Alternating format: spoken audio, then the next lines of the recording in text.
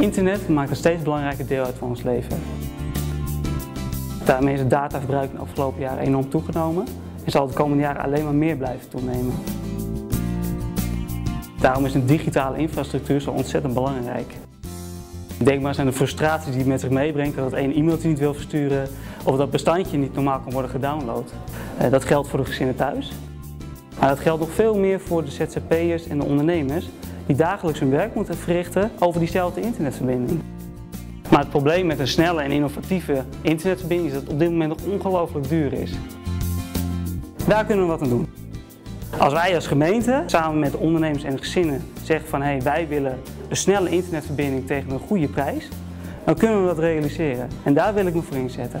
Ik ben Valk Hoekstra en ik ben kandidaat raadlid voor de VVD.